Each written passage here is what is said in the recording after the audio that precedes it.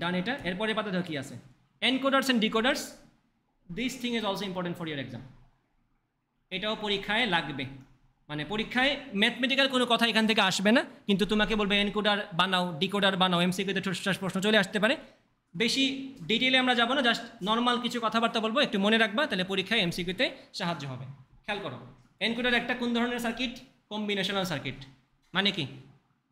Combination আর sequential সার্কিটের পার্থক্য মনে আছে? কম্বিনেশনালে কি হয়? প্রিভিয়াস ক্যারি আমরা নিয়ে আসি না। প্রিভিয়াস নিয়ে আসি না। সিকোয়েন্সিয়ালে আমরা সিকোয়েন্সটা ফলো করি, ঠিক আছে? Encoder save n input n m output input থাকবে আউটপুট থাকবে। ওকে রাখলাম মাথায়। বাট এই দুটো কখনো সমান হবে না, এটা হচ্ছে মেন কথা। এখানে এটা একটু লিখে রাখি যে এখানে n are m is not equal ঠিক আছে? Function of decoder is opposite to encoder জানা কথা এনকোডার এনকোড করবে ডিকোডার ডিকোড করবে। আলাদা তো হবেই। এটা যাকে লুকায়, এটা সেটাকেই সরি এটা যেটাকে লুকায় রাখে, এটা সেটাকেই এক্সপোজ করে দেয়। যেমন ধরো ভিডিও এনকোডার যদি আমাদের ভিডিও পেয়ারে না থাকে, কোনো কোনো কোনো ভিডিও ফাইল আছে সেটাতে একটা নির্দিষ্টভাবে ডিকোড এনকোড করা থাকে। আমাদের যদি ভিডিও প্লেয়ারের মধ্যে সেই সেই ফাইলের এনকোডার না থাকে ডিকোডার না থাকে, আমরা কিন্তু ওই ওই ফাইলটা প্লে করতে পারব না। বলা থাকে, দেখো যে কোডেক নট অ্যাভেলেবল ওটা কিন্তু ওই ডিকোডারের মতোই বলতে পারো।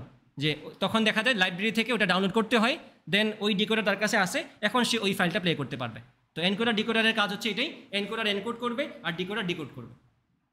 কাহিনী কি? কাহিনী হচ্ছে, এই যে, জিনিসটা একদম সিম্পল নাম মানে এগুলো দেখে দেখে চিনবা কোনটাকে যে ফোর ইন্টু টু এনকোডার বলতে বোঝানো হচ্ছে এখানে যে আমি চারটা ইনপুট দিব, সে আমাকে দুইটা আউটপুট বানিয়ে দিবে। আমি চারটা ইনপুট দিচ্ছি না এখানে I not I one I two I three সে আমাকে দুইটা আউটপুট বানিয়ে দিচ্ছে না। এটা। এবং এটাকে যদি আমি আবার ডিকোডারে ঢুকাই এটা হচ্ছে টু ইন্টু ফোর ডিকোডার মানে কি? তাকে আমি দুইটা ইনপুট দিব, সে আমাকে চারটা বানিয়ে দেবে। মানে ব্যাপারটা হচ্ছে পুরোটাই দুইয়ের পাওয়ার দিয়ে কথাবার্তা। তাহলে এখন তোমরা একটু বুদ্ধি করে আমাকে বলবা যে আমি যদি এখন একটা এনকোডার বলি তোমাকে, যেটার ইনপুট হচ্ছে ষোলোটা।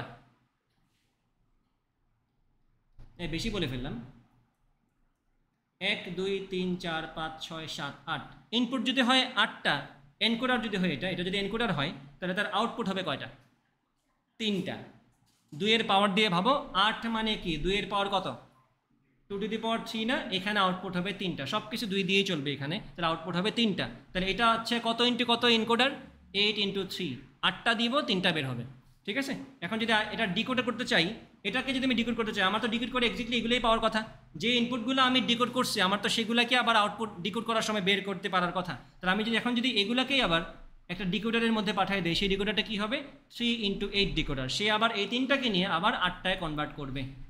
এই হচ্ছে বেশি কথাবার্তা। এর বেশি তেমন কথাবার্তা প্রয়োজন নেই। এক, দুই, তিন, চার, পাঁচ, ছয়, সাত, আট বানিয়ে দাও।